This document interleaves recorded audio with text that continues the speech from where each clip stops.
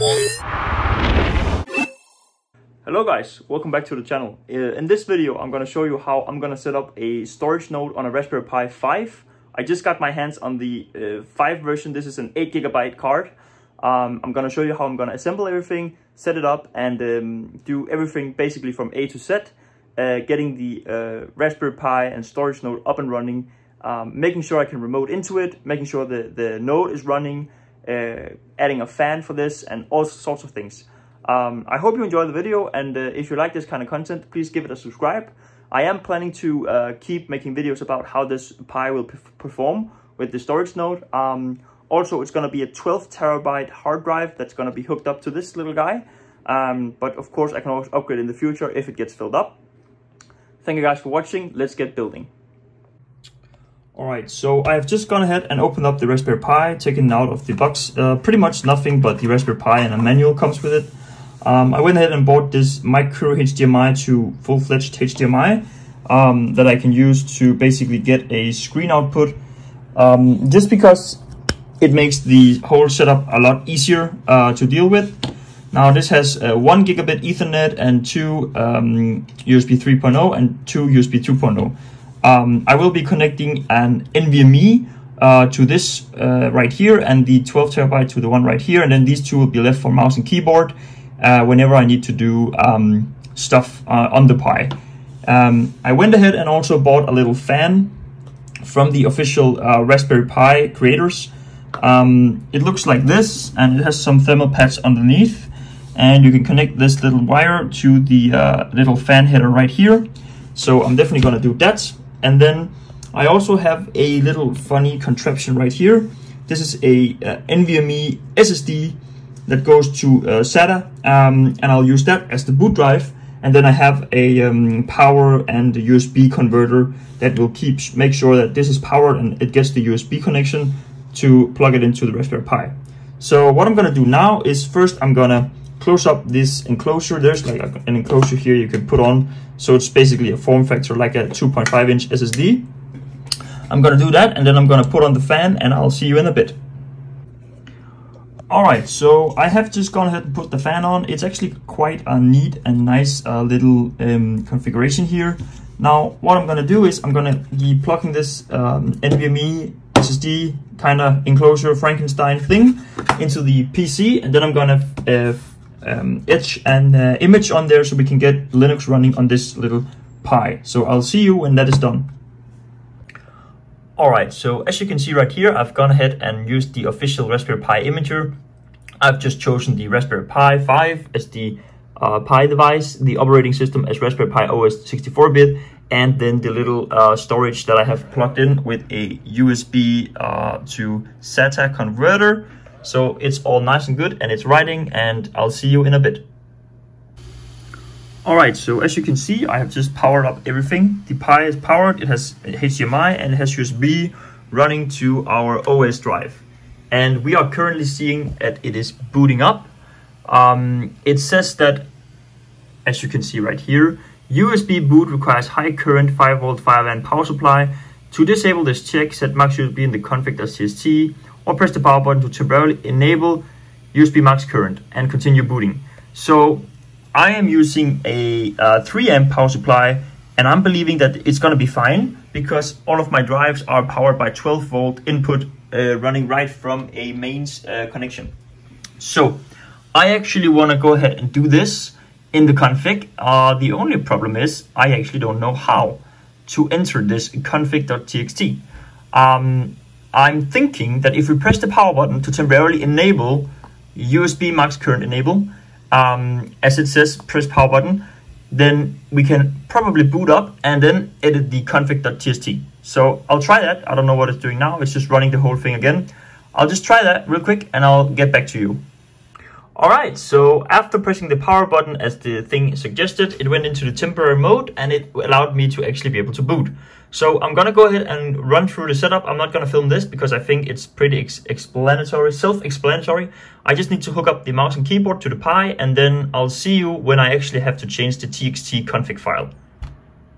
Alright, so it finally updated and I set everything up and I went into the Raspberry Pi configuration and as you can see here, you can actually just disable USB current limit.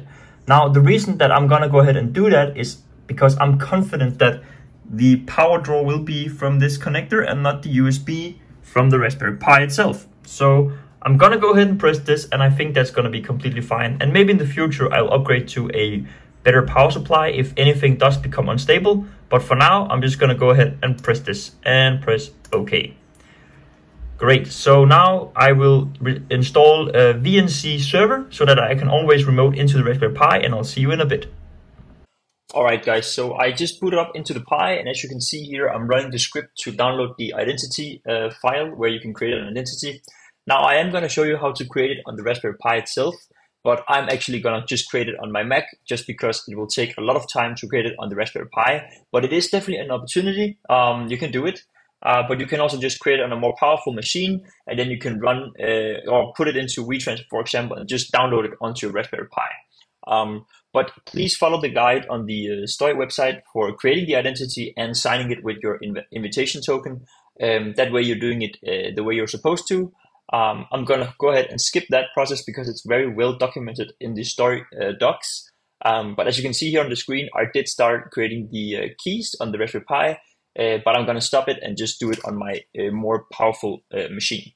All right, so I am just gonna go ahead and mount the hard drive. I'm gonna use GParted UI for this, um, just to make sure I'm doing it right. Uh, this is the first time, or not the first time, but it's one of the first times I've ever done this. So please bear with me. I'm going ahead a little bit slow. Um, Gparted is part of the official uh, Raspberry Pi OS, um, which is a, a, user interface or easy user interfaceable uh, program that you can use to allocate disk space and partitions and all this stuff. Now I am going to be using that and uh, I'm going to go ahead and just uh, create some partition. Now I did press something wrong here, but I'm sure that I will figure it out. It just takes a while because I haven't done it many times before. Um, as you can see, you can go up and press uh, create partition and you can choose GPT. That is what I chose. Um, that should be fine. I then did go ahead and uh, make sure everything looked good and I gave it, gave it a partition name and I used the file system ext4 as I believe that is the uh, recommended uh, file system for uh, the uh, storage nodes. And I did then press the green check icon and then that applies all the operations.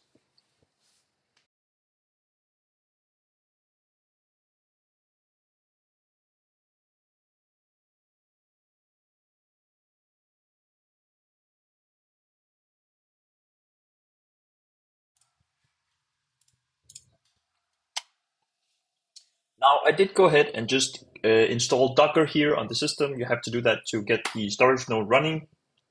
I'm not going to show you how to do it because it's also very well documented on Docker's official site. But what I will say is that sometimes um, Docker and a brand new Pi OS can have some trouble so that after installation, you might have to just really quick log out and log into the Raspberry Pi again uh, because of some permissions. Um, as you can see on the command on the screen, this is what I did to install Docker. Um, it wasn't too uh, hard, but if you run into problems with this kind of stuff, I can recommend asking ChatGPT and showing them exactly what kind of uh, steps you took and what kind of errors you're getting. Um, but I installed Docker and I was ready to move on to the next phase.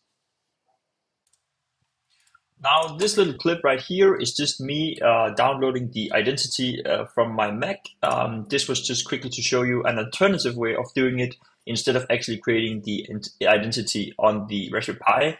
At this stage, it already has been signed with my um, invitation token. So please do that before you send it over with WeTransfer. I think that's the easiest and actually the best way to go ahead with it. Now at this stage, I went ahead and downloaded the uh, Storj Labs uh, storage node image from um, from uh, Docker pull. I also went ahead and uh, entered ifconfig into the terminal this way I could uh, identify what the uh, uh, local IP was of the storage node. So I could go into my console and actually port forward the port that I want to use. Now I'm going to use port 3000, but you don't have to. And as you can see right there, I found the IP. Um, I'm going to use port 3000, but you definitely don't have to. It's up to you. Um, and then I went ahead and copied in the docker run command so that I was ready for the next phase.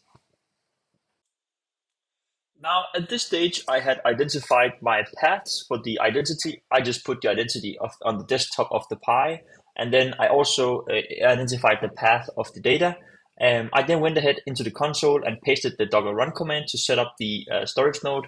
It went successfully. Um, a little tip that I'll give you is if you have any problems with, for example, um, uh, what users can do what on the disks that you have on your Raspberry Pi, ChatGPT once again will help you uh, give the right commands to uh, get the correct privileges to, for example, make folders on the uh, drive itself. It is something I had a problem with, um, and that was simply because I hadn't given myself read-write uh, um, privileges, but only uh, read. So just a little tip. The next phase is actually setting up the Docker run command. Now, in this phase, I set up the Docker run command. Now, please notice that I use the port 3000 on TCP and UDP. Um, you have your um, your dashboard on 14,200. You have your wallet. I put in an email for this video. Uh, you have your uh, IPv4 address with the uh, port, and you have the amount of storage that you want to allocate. And then, of course, you have your path. Now, this is your whole Docker, uh, Docker, Docker run file, or Docker run command, sorry. I'm just going to go ahead and paste it into the terminal. And that way we should see immediately that the Docker node is spinning right up. As you can see right there, uh, we saw the um, little ID of the uh, Docker image or Docker container, whatever you want to call it. I don't know what the right ter terminology is. That should mean that we can access localhost 14,200 and we should be able to see that the storage node is running. And just like that, we can confirm the storage node is indeed running everything looks okay. We have no errors. That also means port forwarding went well. And we can see that we have a zero suspension Auden online. That will change. It's just because the node is brand new. And we can see our total allocated disk space. So that worked great. All right, so here after we have set everything up and we have waited a bit, we can now refresh the page and we should be able to see that some bandwidth has been going. We can see that the uptime is 37 minutes, so it has been a little while. Now, the bandwidth used this month is still 0 bytes, and you might wonder why. My theory is that that's just because the satellites of the storage nodes haven't been updating the actual um, used storage yet, so that should change in a couple days or at least some hours. But if we scroll down, we can actually see that we have already downloaded 11 gigabytes. That is great. That is means that data is flowing into the node and everything is working correctly. Um, I would like to thank you guys so much for watching this video it has been a pleasure uh, creating this content for you, and I'm hoping to keep making updates about this Raspberry Pi 5 storage node in the future, um, telling you guys how it's performing, what it's earning, and so on and so on. So if you like this kind of content, if you want to see more, consider giving me a subscribe. I believe 2% of my watchers are subscribed, so not a lot, but thank you so much for watching. See you guys in a bit.